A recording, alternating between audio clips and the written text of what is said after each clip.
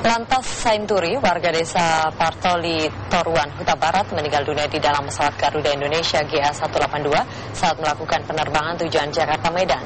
Ia meninggal saat pesawat berada pada lokasi geografis 35N6 South of Pekanbaru pada pukul 9 lebih 5 menit waktu Indonesia Barat. Menurut surat keterangan dari dokter kesehatan Bandara Polonia Medan, Lantas Sainturi meninggal akibat penyakit kelainan darah yang dialaminya. Setiba di Bandara Polonia Medan, jenazah lantas Sianturi dievakuasi dari dalam pesawat dan tim kesehatan langsung memeriksa jenazah. Jenazah lantas Sianturi akan disegera dibawa ke kampung halamannya untuk dimakamkan.